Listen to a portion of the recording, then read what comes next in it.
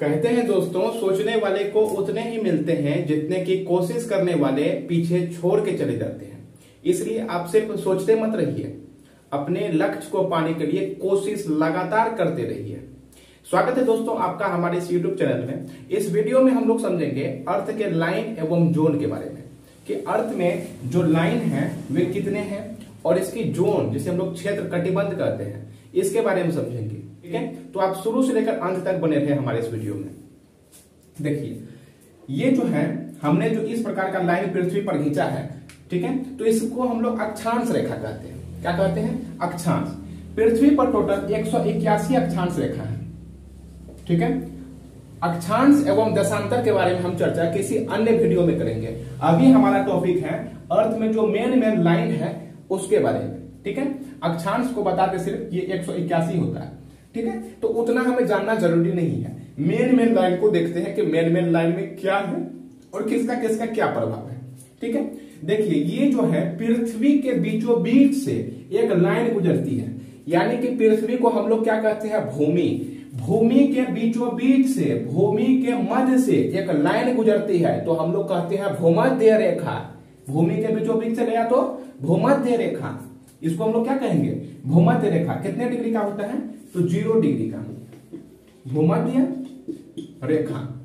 कितने डिग्री का? तो ज़ीरो डिग्री का होता है। क्यों होता है? क्योंकि ये पृथ्वी के बीचों बीच से गया है। देखिए, अब इसको हम लोग ज्योग्राफिकल लैंग्वेज में कहते हैं। भूमध्य रेखा को विश्वत रेखा। क्या कहते हैं? विश्वत रेखा।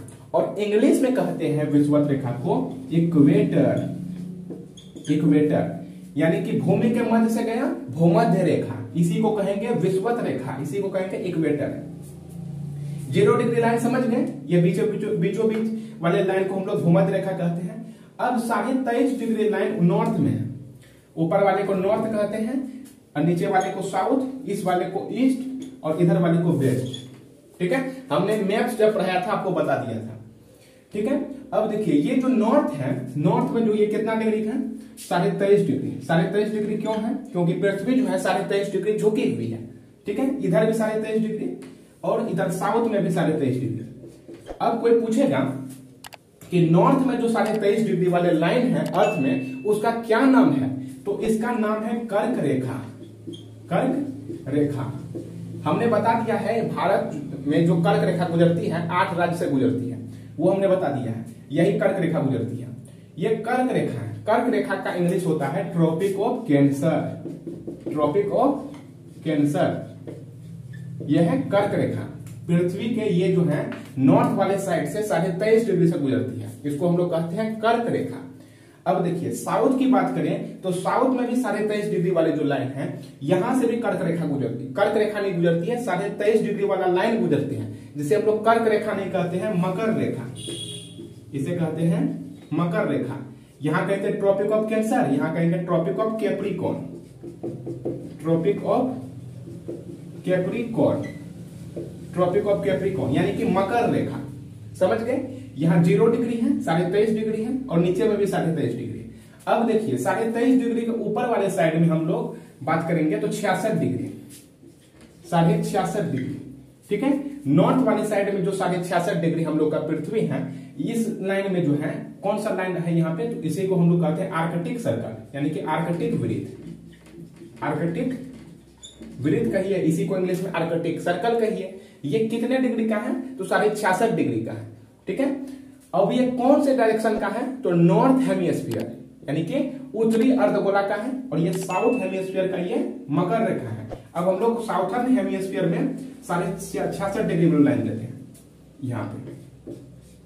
साढ़े छियासठ डिग्री ब्लू लाइन तो इसको हम लोग क्या कहते हैं? यहाँ आर्कटिक वृत्त यहाँ पे कहते हैं अंटार्कटिक वृत्त अंटार्कटिक वृत्त इसे हम लोग कहते हैं अंटार्कटिक सर्कल क्योंकि यहाँ पे अंटार्कटिक कॉन्टिनेंट है, आपको पता है?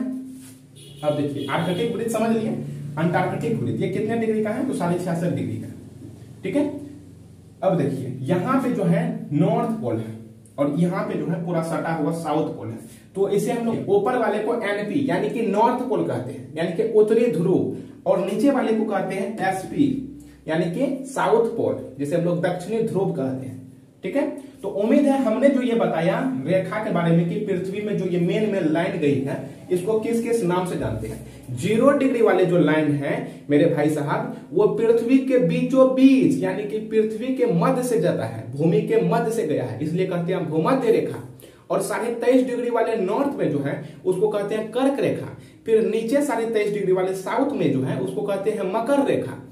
साढ़े छियासठ डिग्री वाले जो नॉर्थ में है, उसको कहते हैं आर्कटिक। फिर साढ़े छियासठ डिग्री वाले जो साउथ में है, उसी को कहते हैं अंटार्कटिक। चार बार बोलिएगा, याद हो जाएगा। पृथ्वी के मध्य से गया, भूमि के मध्य से गया, भूमध्य रेखा, जिसको विश्वत रेखा कहते हैं। कर्क रेखा, मकर रेखा, कर्क रेखा, मकर रेखा, कर्क रेखा, मकर रेखा। आर्कटिक वृत्त, अंटार्कटिक वृत्त, आर्कटिक वृत्त, अंटार्कटिक वृत्त। तो उम्मीद है आप इसे काफ़ी अच्छी तरह से समझ लिए होंगे, तब तक इसे उतारिए। तो उम्मीद है मेरे दोस्तों, ये आप काफ़ी अच्छी तरह से समझ गए होंगे। तो फिर मिलते हैं नेक्स्ट वीडियो में जोन लेकर के आएँगे कटिबंध। समझेंगे उष्ण कटिबंध क्या होते हैं शीतोष्ण कटिबंध क्या होते हैं, शीत कटिबंध क्या होते हैं। तब तक के लिए जय हिंद, फिर मिलते हैं नेक्स्ट वीडियो में।